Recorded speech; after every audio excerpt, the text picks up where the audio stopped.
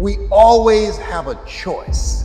Every day represents something that we can claim and say, I'm going to make the rest of my life the best of my life.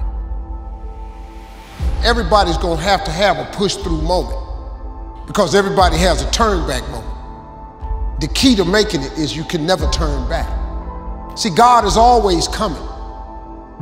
You want to get a jump on life? Get the hell out of bed in the morning. Being, in, in, in the proper sense, is to constantly note that you're not what you could be, to take responsibility for that, and to commit yourself, like body and soul, to the attainment of that ideal. And you know this. You're useless. You know nothing. You haven't got started. You've got 60 years to put yourself together, and God only knows what you could become.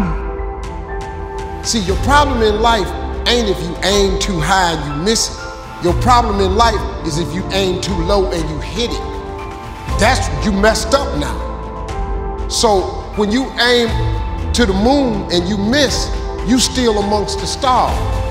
So it kind of keeps you motivated a lot longer, man to help you push through.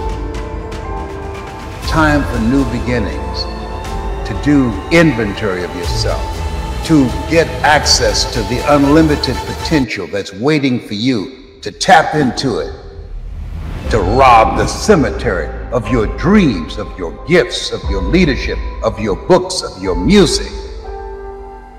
And so, if your life isn't everything it could be, you could ask yourself, well, what would happen if you just stopped wasting the opportunities that are in front of you? You got to be willing to do it afraid. See, you might be waiting for the fear to stop. I'm afraid, what do I do? Do it anyway. I'm afraid I don't quite know if I should move. Move anyway. I don't know if I should leap. Leap afraid and then gather your courage on the way down. And if you don't get it before you hit, you're gonna hit anyway. I say to you, honor yourself. I'm looking at your life, taking personal inventory, and be honest with yourself. Ye shall know the truth, and the truth shall set you free. And decide that you're going to upgrade your environment.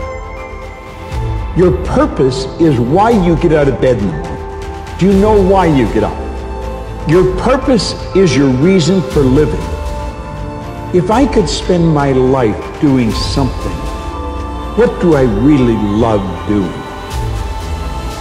Now, since you don't ask yourself that question every day, it might take a while for this answer to come to the surface. But it comes to your consciousness. And it may take a while. You may have to do this every morning for three months. But it would be well invested, the time. Your dreams have to be bigger than all your fears and all your consequences. What makes people go back is you dream too small.